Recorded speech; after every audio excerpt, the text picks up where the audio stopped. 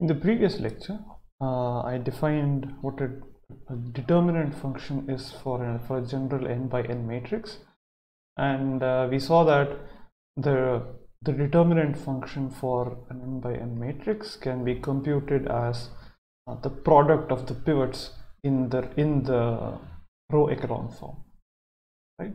And we also saw that for a two by two matrix A, uh, d of A corresponds to the the conventional definition of the determinant of A. Right? So, so there, uh, when I did the derivation, you need to be a little bit careful because there is one case that I did not take into account. In particular, so, so here, when I did row reduction, I assume I implicitly assumed that A11 is non-zero. Right? So, so in the case where A11 is equal to zero, then then this particular derivation does not work. So uh, what do you need to do in that case? Uh, in that case you will need to do a row exchange right? You'll need to exchange the first and the second rows. And as soon as you do a row exchange you will recognize that it is already an upper triangular matrix. And you can compute uh, what you get uh, in that particular case. And you'll see that it's equal to minus a1 to a21 right? And, and that still corresponds to the conventional definition of the determinant of a when a11 is equal to 0 that's a special case uh, and but but in in getting a complete proof of this particular statement that d of a is equal to determinant of a that case also needs to be taken into account. Okay. So this was what we saw in the previous lecture that that using these three properties of n linearity alternating and d of i equal to 1 uh, we, we got a very general definition of a determinant function and, and at least for a 2 by 2 matrix this corresponds to the, the conventional definition of uh, uh, the determinant of a 2 by 2 matrix which you've seen in your uh, in, in high school or uh, undergraduate. So, so now what we are going to do is we'll see what happens for a general n by n matrix right? Uh, so so we, we've seen that for a general n by n matrix you can do row reduction and and and it turns out that uh, d of a is equal to the product of the pivots.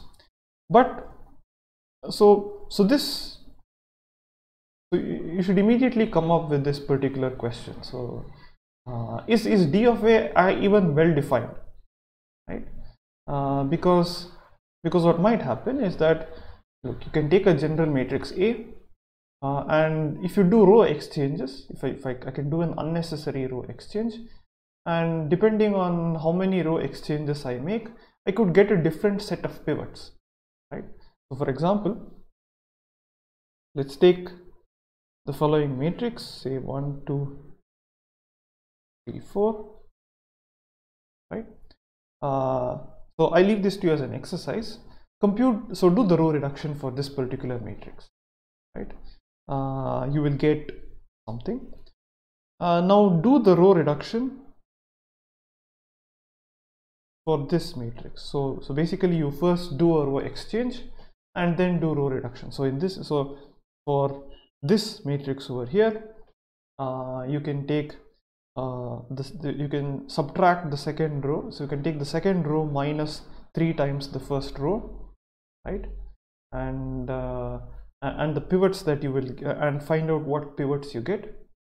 And for this matrix uh, you can take the second the sec you can subtract this from the second row you can subtract one third the first row right? And you'll get the row echelon form. So you so so basically the row echelon form of, of this particular matrix is, is not necessarily unique uh, because depending on whether I do a row exchange or not, I can get different pivots, right? So even though the pivots can be different, uh, is it true that the product of the pivots is always the same?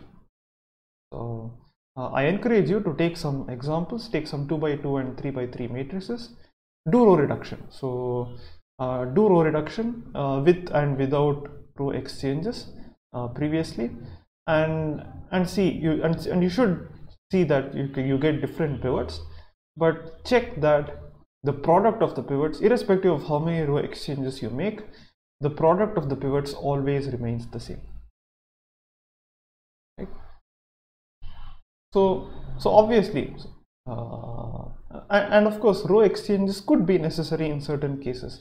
So at least for these two uh, for this matrix 1 2 3 4 uh, to to bring it down to the row echelon form it doesn't necessarily need row exchange right? Uh, I could do it uh, without a single row exchange. Uh, but but for d of a to be well defined uh, the product of the pivots must remain the same irrespective of whether I do row exchanges or not. And in some matrices row exchanges are necessary. So so here is one example 0 1 uh, 2 3 right. So bring to bring this down to the row echelon form i need to first exchange the first and second rows and, and of course then immediately uh, this is brought down to the row echelon form. Right. Okay. So So let's look at the determinant of a general n by n matrix, right? So, so in resolving this question as to whether d of a is well defined or not, we'll actually derive the the expression for the uh, a general expression for the determinant of an n by n matrix. And to understand the determinant, uh, it's it's very important to understand the notion of a permutation. So what is a permutation? A permutation is is basically a map it's a bijective map any bijective map from 1 2 3 up to n to itself right? So it's a map which takes uh, an, uh, the set 1 2 3 up to n uh, to itself and any bijective any such bijective map is a permutation. So one example so let's let's assume that n is equal to 3 uh, you could define sigma in the following way. So you have 1 2 3 so sigma takes 1 to maybe 3, 2 to 2 and 3 to 1 right? So sigma of 1 is equal to 3 sigma of 2 is equal to 2 and sigma of 3 is equal to 1 so that is one example of a permutation matrix. So one example of a permutation. Uh, but here is another example. So you can take sigma which so so this is permutation. It's it's the identity permutation. It's an identity map uh, but it is also a valid permutation. 213 this is also a valid permutation. So sigma of 1 is equal to 2 sigma of 2 equal to 1 and sigma of 3 equal to 3 so what is not a permutation? This is not a permutation because this map is not bijective okay. So any bijective function from uh, the first the set of uh, first n positive numbers to itself is a is a valid permutation. So so here's a question for you. What is the number of distinct permutations on n elements? So how many how many distinct sigmas can you define on the set of n elements uh, I want you to pause the video and think about it for a minute to come and come up with the answer. Okay, hopefully you come up with the answer. The number of permutations is, is simply n factorial, right? Uh, and, and why is that the case? Right. The reason is because now you want to find sigma of 1, sigma of 2 and so on right up to sigma of n. Now how many ways are there to choose sigma of 1 uh, there are n ways. There are n possible values that sigma of 1 can take. Now given that you assigned something to sigma of 1 how many possible ways can you assign sigma of 2 uh, there are n minus 1 ways right? Uh, because because one has already been selected so for, exa for example, if you have uh, n equal to 3, right? So there are n possible, there are three possible ways of selecting sigma of 1, maybe I select 2 right? Uh, now now given that sigma of 1 is equal to 2 how many ways can I select sigma of 2 I can only choose between 1 and 3 right? I cannot take it I cannot take sigma of 2 equal to 2 because otherwise sigma would not be bijective so I can take 1 and how many ways are there to choose sigma of 3 there's only one possible value. It has to be equal to 3 right? so so similarly uh, for general n there are n ways to choose sigma of 1 and given that you've chosen sigma of 1 there are n minus 1 possible ways of choosing sigma of 2 n minus 2 possible ways of choosing sigma of 3 and so on. And there is only one way of choosing sigma of n. So the total number of ways of choosing the function sigma is n into n minus 1 into n minus 2 all the way up to 1 and therefore the total number of distinct permutations on n elements is, is n factorial. This is high school stuff. Okay, so so that is fairly standard and something that you've seen. But here's a here's a nice observation that to get any permutation, so any permutation can be generated by pairwise exchanges. So what do I mean by that? So let's take this particular permutation sigma 1, 2, 3, 4. Or let's take an even simpler example. So for three elements, let's say 1, 2, 3, I choose a sigma which is the following say 2, 3, 1. Okay.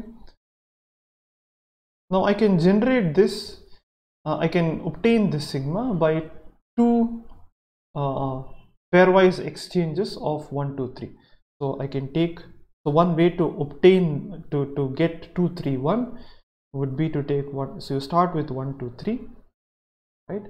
Uh, i will exchange these two. I will exchange 1 and 3 to get 3 2 1 okay? And then i will exchange 3 and 2 to get 2 3 1 okay, so let's see a, let's see a more complicated a slightly more complicated example. So, so let me start with 1, 2, 3, 4 and I want to get 3, 1, 4, 2 which corresponds to one particular permutation. Right?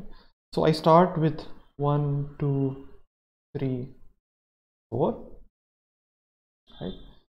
Uh, so what I first do is I exchange 1 and 2 to get 2, 1, three, four.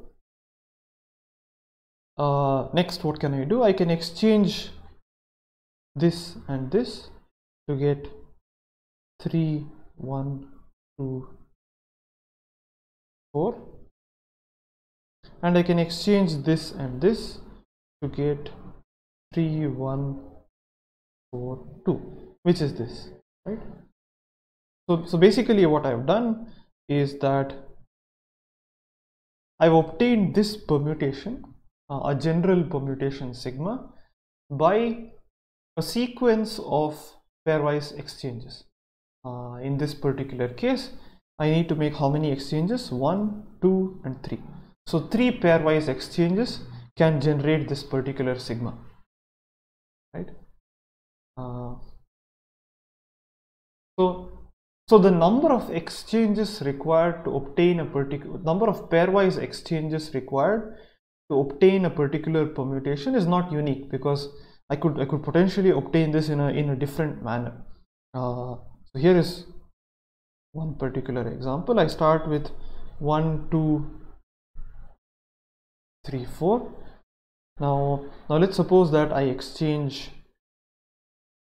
uh, say two and three first right? So I get 1 3 2 4 and then now I exchange let's say 1 and 3 to get 3 1 2 4 and then I decide to exchange 1 and 4 to get 3 4 2 1 and I exchange 2 and 1 to get 3 4 1 2 and then I again exchange 1 and 4 to get 3 1 4 2 right So the number of exchanges required here is 1, 2, 3, 4, 5. So 5 pairwise exchanges was, uh, was required to get sigma. So, so these are two distinct ways of getting the same sigma using different number of uh, pairwise exchanges. But, but one thing to note here uh, is that the number of exchanges required, the number of pairwise exchanges required in order to get this particular sigma is always odd. So here is three exchanges required. In this example, five exchanges required. And, and you can try different ways. No matter how you try, the number of pairwise exchanges that you require is always an odd number for this particular sigma. Right? So in general, uh, to get a particular sigma, uh, you could you could do different number of uh, pairwise exchanges, but for any general sigma, so irrespective of which sigma you choose, the number of pairwise exchanges that that you need to do of one, two, three, four is all is either always an odd number or always an even number. For this particular sigma, it is always an odd number maybe for a different sigma it's always an even number so for example uh, to get this particular sigma uh, that one two three uh, we, we saw one particular uh, case where where you could get this using two pairwise exchanges. And and i claim that you, you can try working it out for yourself but you will always require an even number of pairwise exchanges of 1 2 3 to get 3 1 2 right? Okay. So so in general we call a permutation so given a general permutation sigma this permutation is said to be odd. If the number of such pairwise exchanges of 1 1 up to n is always an odd number and if it is an always an even number then we call it an even permutation. So every permutation is either odd or even. So of course this is a statement that i'm not proving over here because it requires uh, more deep results but but you can you can take different examples and check it for yourself you will always see that a permutation is, is odd or even. So, so for example, uh, for this particular sigma, I cannot generate this sigma using an even number of pairwise exchanges and I cannot generate this particular sigma using an odd number of pairwise exchanges. So every uh, permutation matrix so every permutation, every such permutation can be represented by a permutation matrix. So in general, what is a permutation matrix? A permutation matrix is, is a matrix of zeros and ones such that every row has exactly a single one and every column has exactly a single one. And, and you can see that this, and this corresponds to a permutation because of the following reason. So recall that a permutation is a bijective map. So let's take this particular example 1 3 uh, 2 1 uh, 3 4 4 2 right. So sigma of 1 so so you so corresponding to this particular permutation I can construct a permutation matrix uh, such that the 1 3 location is 1 2 1 location is 1 3 4 location is 1 and 4 2 location is 1 and everything else is 0 so so 1 3 location is 1 2 1 location is 1 3 4 location is 1 and 4 2 location is 1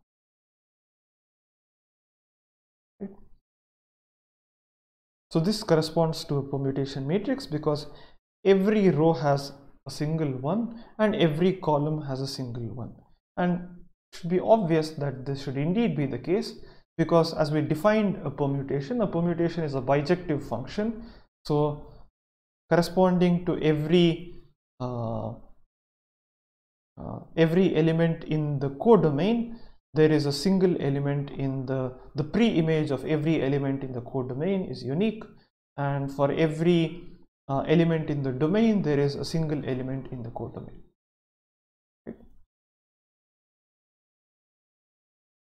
so this and and correspondingly every permutation matrix every such matrix such that every row has a single one and every column has a single one such a matrix always corresponds to a permutation so what permutation does this correspond to? I wanted to pause the video and compute it for yourself.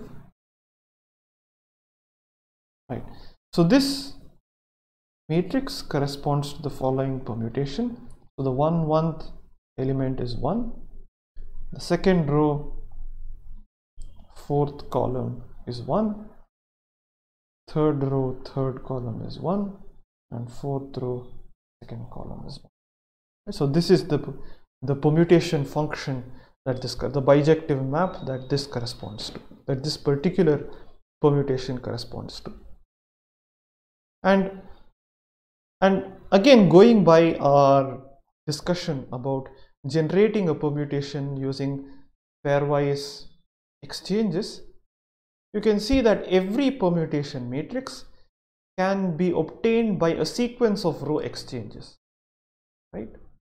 Uh, so, so this particular permutation matrix can be obtained by pair by row exchanges of the identity matrix. So you start with the identity matrix, you can do a sequence of row exchanges and arrive at this particular permutation matrix and as I as we did for for uh, bijective maps so the number of row exchanges that you need to do the number of row exchanges on the identity matrix that need to be done in order to get a particular permutation matrix is either always odd or always even right?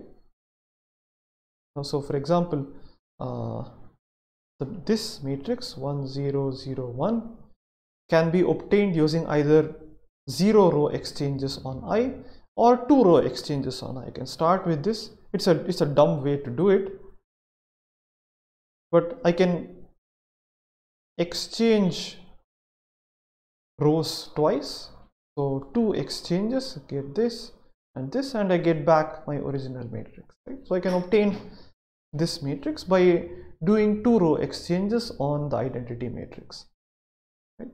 and to get this particular matrix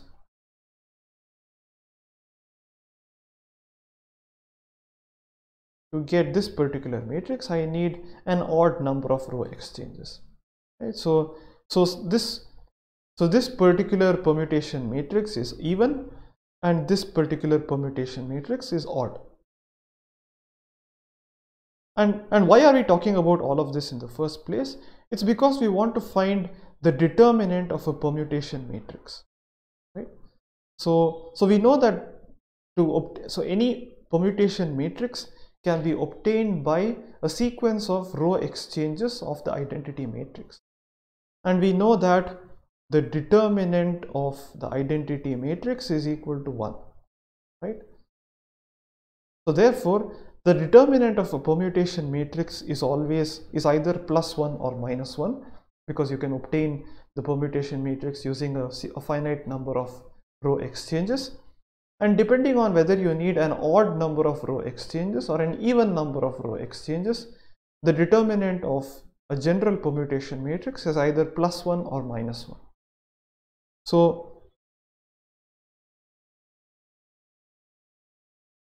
so so the determinant of p sigma is is 1 if it's an even permutation if an even number of row exchanges are required or it is minus 1 if if uh, if if an odd number of permutations are required if an odd number of row exchanges are required.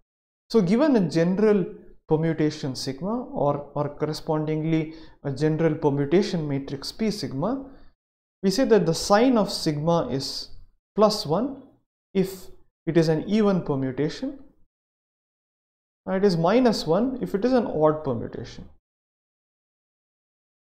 right so this is what we mean by the sign of sigma and I'll denote it as sgn of sigma or sign of sigma. Right? So, so, so for any permutation on n elements, the sign of that particular permutation is plus 1 if it's an even uh, permutation and it's minus 1 if it's an odd permutation. And this basically corresponds to the determinant of p sigma. So so the sign of sigma is basically the determinant of p sigma. Right? And perhaps you've seen this formula for the determinant of an n by n matrix. Uh, so the determinant of any general n by n matrix has the following formula. So it is the sum over all possible permutations on n elements of, of this particular term. It's a sum of product terms where each product term is the sign of sigma times a subscript 1 sigma of 1, a subscript 2 sigma of 2, a subscript 3 sigma of 3 and so on uh, up to a subscript n sigma of n right so, so for a, for a 2 by 2 matrix there are only two possible permutations. 1 2 1 2 so this is the identity permutation. And 1 2 2 1 so this is the other permutation. So so the determinant of a 2 by 2 matrix is so the sign of the identity permutation is plus 1 so it is plus a11 times a22 plus sign of this permutation. This is an odd permutation. So it is minus 1 times a12 times a21 so this is a11 a22 minus a12 a21 which you know is the determinant of a 2 by 2 matrix so this is a, a formula for the conventional determinant of an n a general n by n matrix and i leave it to you as an exercise to show that this definition of the determinant of a matrix satisfies the three properties of a determinant function. It is n linear. So, so if you fix all the other rows, then it's a linear function of the ith row. It is an alternating function. So doing a row exchange changes the sign of the determinant. And if two rows are identical, then the determinant is equal to zero. And of course, uh, the determinant of i is equal to 1 so that so i leave that to you as an exercise okay so so it's obvious that this is one way to define. So so the determinant of a satisfies so this definition of the determinant of of a is is corresponds to some d of a. It is a valid determinant function. But is this the only way to define? So so uh, is there a different d of a which satisfies all the three properties but it is not equal to this conventional determinant of in fact it turns out that that's not the case. So any function which satisfies those three properties is always equal to this particular definition. So these two coincide is what so this is what we want to show. So how do we prove this? So so we, so we have to make use of those three properties uh, the n linearity and uh, alternating and d of i equal to 1 so just using these three properties we have to arrive at this particular formula right? And the trick to do that uh, is to is to represent the matrix in a particularly nice form. What is this nice form? So so let me define ei to be the ith standard basis vector. So this is a vector, uh, it's a row vector uh, with all zeros except a 1 except the ith location which has a 1. So all other locations you have a 0 except in the ith location where you have a 1. Right? And any vector uh, A can be written as so so any vector let's say ai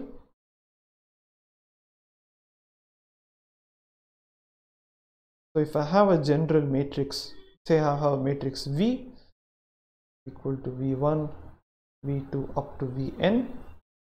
I can write this as v1 times e1 plus v2 times e2 and so on up to vn times en right? Now this is a valid way. I'm just expressing it in terms of the standard ordered basis okay so, so that's one particular way. So now I can write the matrix A as in the following way. It looks a bit complicated but I can write this as summation i1 going from 1 through n of a1 i1 ei1 right? I'm just representing the first row uh, as as a sum of linear as a linear combination of the ei's.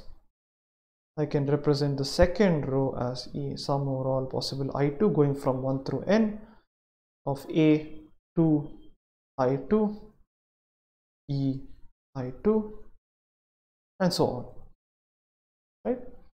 So at this point i've done nothing. I've just expressed each row as a, as a linear combination of these basis vectors. Okay, so this is what I've done. So, so what is the next step? The next step, I'll use the n linearity property. So if I keep all of the other rows fixed, then, then the determinant of A I claim is equal to the sum i going from 1 through n or i1 going from 1 through n of a1 i1 times the determinant of ei1 and the remaining rows that is a2 a3 up to an right and this simply follows from the n linearity property. Now what do I do? I'll use this, I'll use the n linearity property repeatedly. So, so basically I'll do this on the second row and then the third row and then the fourth row and so on. Right? So basically what I would get would be the following. So the determinant of A would be equal to sum over all possible i1 sum over all possible i2 sum over all possible i3 so on. Sum over all possible in of a1 i1 times a1 i2 and so on times a1 in all within the brackets. Yes. So this times the determinant of this particular matrix EI1, EI2, EI3 and so on up to EIN.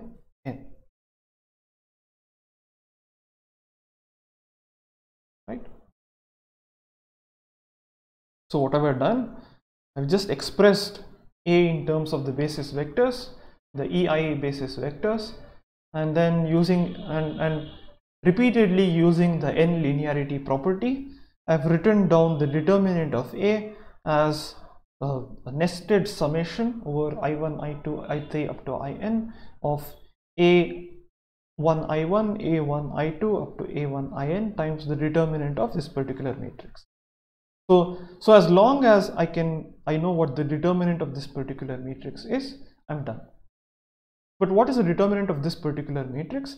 If for if if I1 is equal to I2 or I1 equal to I3 or, or if or if any of these or if any two rows of this matrix are identical then the determinant is equal to 0 right So, so what does what does this matrix look like?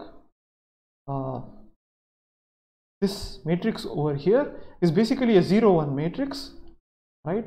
So basically in each row you have a single one. So this is 0 0 0 0 1 0 0 0 uh, maybe 1 0 0 0 0 but you could also possibly have a repeated row so this is one particular uh, example right uh, but in this in this particular example I have written uh, the the second row and the fourth row are identical right? So depending on what i1 i2 i3 up to in are uh, this corresponds to a 0 1 matrix with exactly a single one in in uh, in one possible in each possible row. And how many possible ways how many possible such matrices are there? How many uh, how many terms do you have in this uh, nested summation.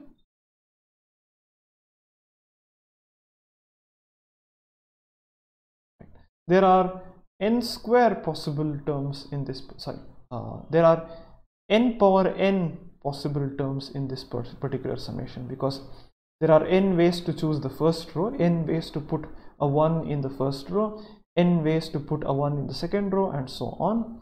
So n times n times n times n times n so there are n to the power n possible ways of n power n terms in this particular summation but we know that if any two rows are identical, then the determinant is equal to 0. So we can throw all of all such terms out.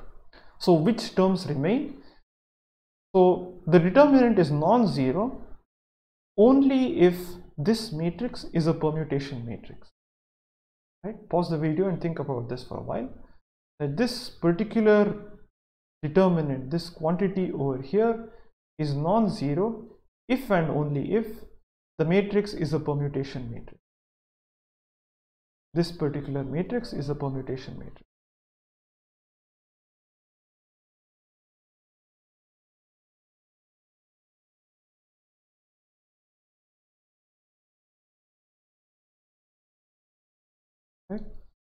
And we know what the what the determinant of a permutation matrix is already. It's either plus one or minus one. So basically, instead of summing over all possible i1, i2, i3 up to in, I can write this as the sum over all possible permutation matrices sigma of a1 sigma of 1, a2 sigma of 2 and so on up to a n sigma of n times the determinant of the permutation matrix which is basically the sign of sigma.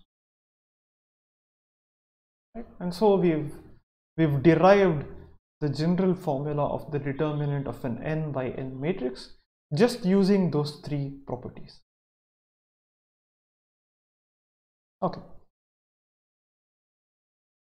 So now that we've seen that the definition of a determinant is, is, is unique, there's no inconsistency. Uh, this also means that irrespective of how many row exchanges you do. Uh, so, so note that to get this, so we only use these three properties and any function which satisfies these three properties must be equal to this, right? So this means that irrespective of how many row exchanges you do during uh, row reduction, uh, so no matter even if the pivots are different in the in the row echelon form, the product of the pivots always remains the same always equal to the determinant of the matrix. And in fact, this property is sometimes used to uh, uh, by many software packages, for example, MATLAB, uh, when they do row reduction, uh, even if the matrix is full rank, sometimes they do some row exchanges just to avoid numerical issues.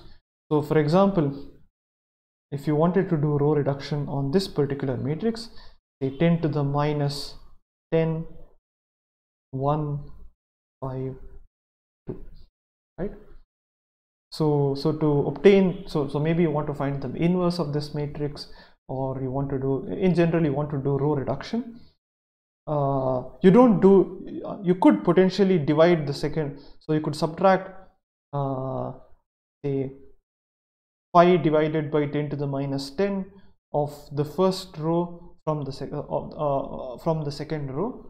But then this would lead to a lot of numerical problems.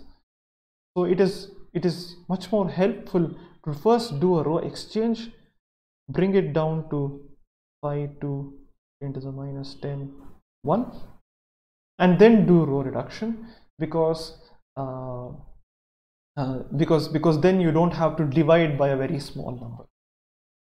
Right? Uh, it becomes it becomes much more easier. And a lot of floating point uh, so, so so you don't run into issues of finite precision. Okay. So now that we've seen uh, a formula for the determinant of a matrix and uh, uh, and, and how how the how the how any determinant function is equal to the conventional determinant. Let's now see why the determinant of a or the absolute value of the determinant of a is equal to the value is equal to the volume of the corresponding parallelepiped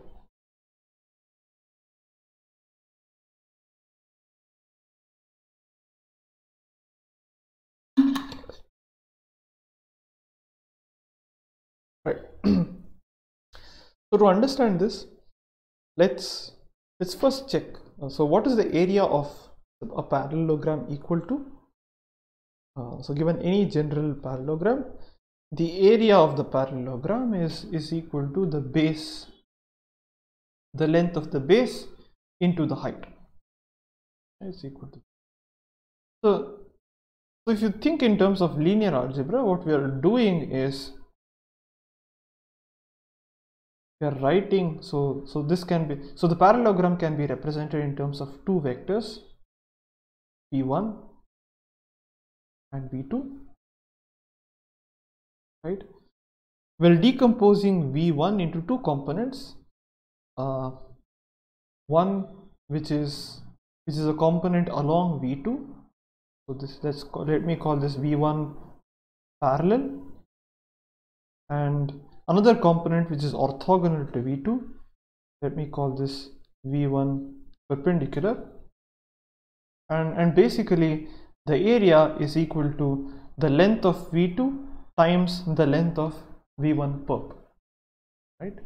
So it is the base times the height. The height is simply given by the length of v1 perp.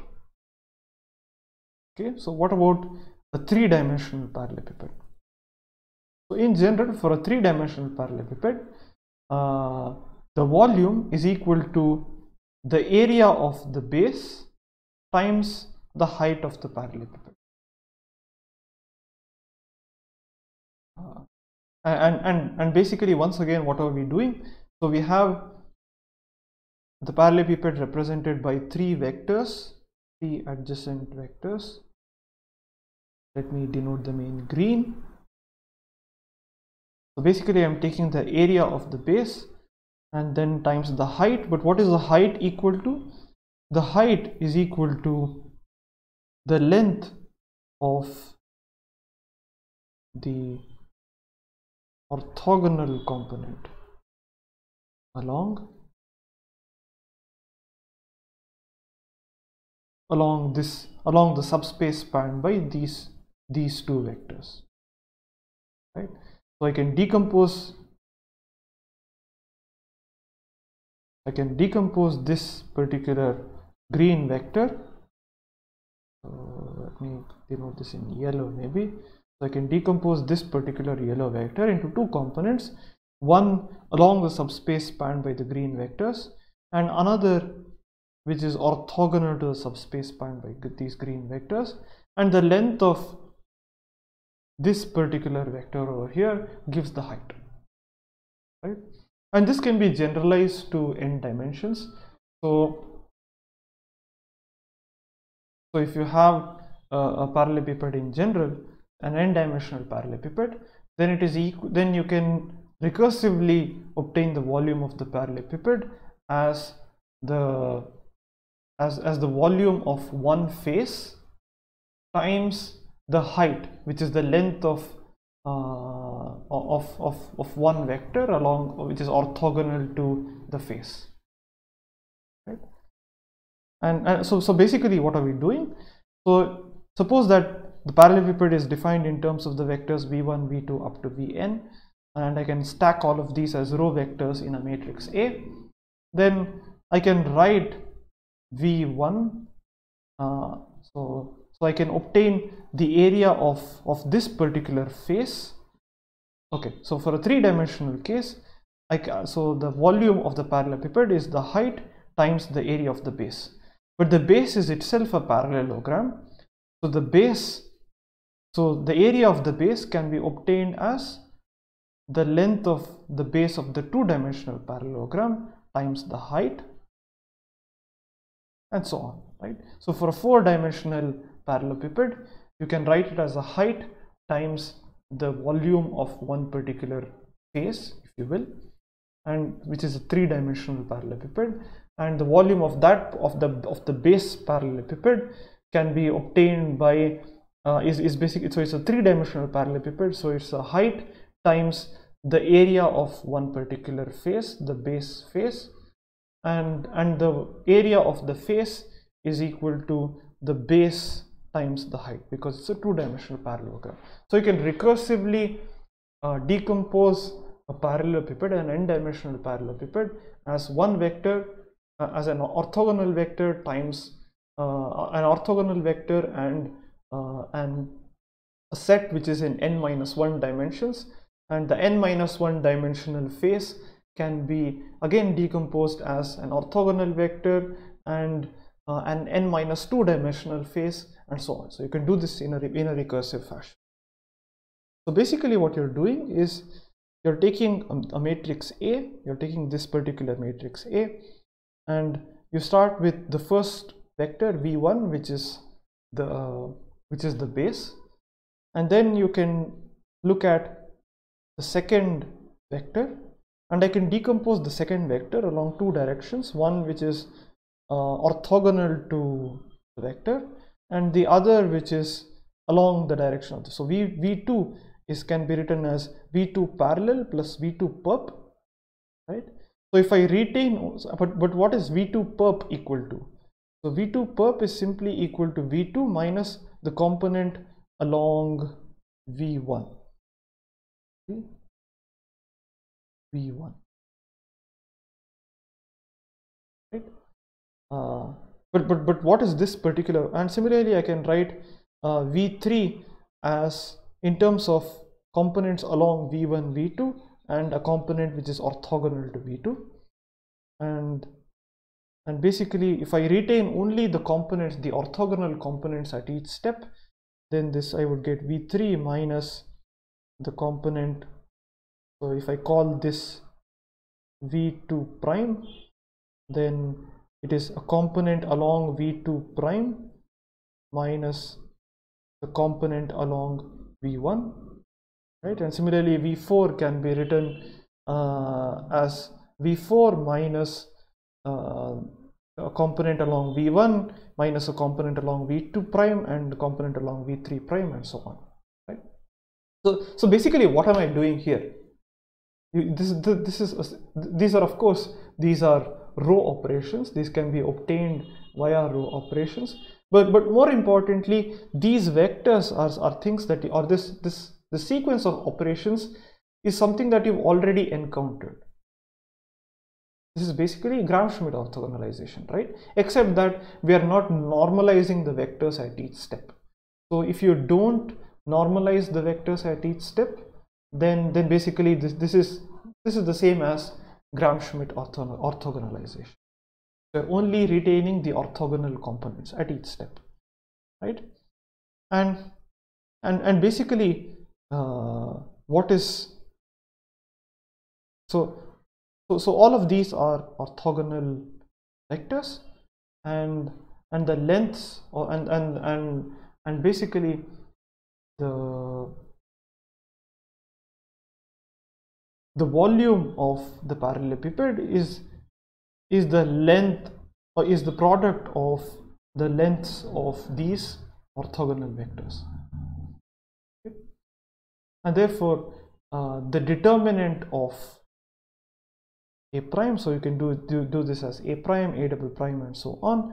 And and ultimately you would you will be able to show that the volume of of the parallelepiped is equal to the determinant of a because because at every step you're doing a row operation and and for and every time you do a particular row operation uh, the determinant does not change right? So each each such row operation does not change the value of the determinant but you might need some row exchanges in between and and that is the reason why why, why you might get a negative sign? So so the volume of the parallelepiped is equal to the absolute value of the determinant of the matrix. And clearly if if if two uh, if two of the vectors which determine the parallelepiped are uh, are linearly dependent so if one vector is linearly dependent on the others then you don't get an n, n dimensional object anymore. It collapses to n minus 1 dimensions and therefore the volume is equal to 0 and correspondingly the determinant of the matrix is also equal to 0 because A is not full rank. Okay, so so to summarize, we saw uh, we, we started off with uh, a general definition, a very abstract definition of uh, a determinant function as a function which satisfied three properties. And then we saw how it uh, and then we derived explicit formulas for the determinant of a matrix and then we saw that all of this is, is basically connected to the volume of, of a parallelepiped. So, so that is what, what all of this uh, geometrically means.